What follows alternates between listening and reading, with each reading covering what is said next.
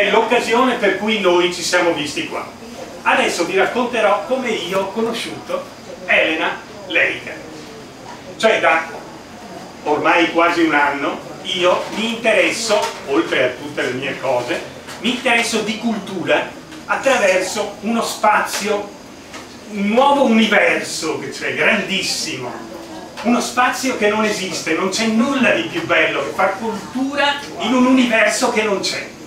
E questo universo che non c'è è Facebook nel caso mio. E voi sapete cosa faccio io? Io registro, lascio aperto Facebook, perché? Perché devo vedere se è venuto qualche amico a salutarmi.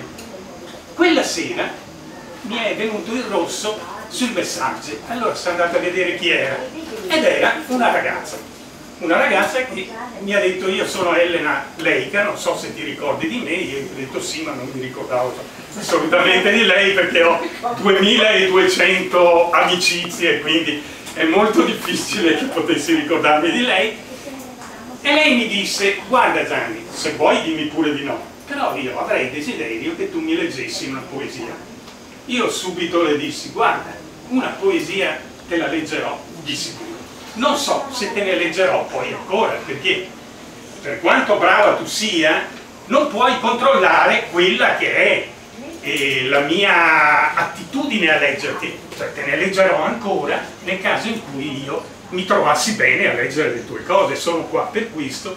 Io un'ora e mezzo al giorno per mantenermi la voce. Devo leggere e quindi tanto meglio leggere poesie su Facebook, poesie del cuore